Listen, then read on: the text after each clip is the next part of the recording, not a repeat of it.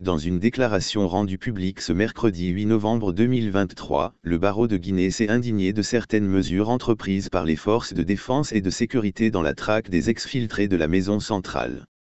Notamment, l'opération de ratissage dans certains quartiers du Grand Conakry, les exactions et bavures contre certains citoyens supposés proches des assaillants.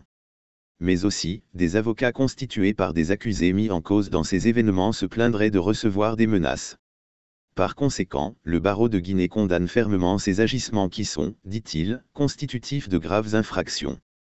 Dans le cadre de la traque de ces assaillants, des témoignages font état de bavures et d'exactions commises par des éléments des forces de défense et de sécurité sur des citoyens dont le seul tort serait vraisemblablement d'avoir des liens avec l'un des accusés qui reste encore en cavale ou serait supposément proche de tel ou tel membre du groupe d'assaillants. D'autres citoyens se disent terrorisés à l'occasion des fouilles et perquisitions opérées dans des quartiers où des fugitifs sont suspectés d'être cachés. Des cas de dégradation ou de suspension de biens privés sont également signalés et rapportés par les médias. Enfin, des avocats constitués par des accusés mis en cause dans ces événements se plaignent de recevoir des menaces.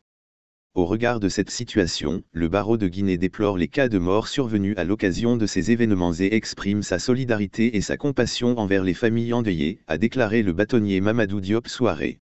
Se référant à certaines dispositions de la charte de la transition et du code pénal, le barreau de Guinée exhorte les autorités judiciaires à engager des enquêtes pour élucider les circonstances de cette opération et d'en identifier les auteurs et complices en vue de les traduire devant la justice ainsi que tous ceux qui, à l'occasion, ont commis des actes illégaux.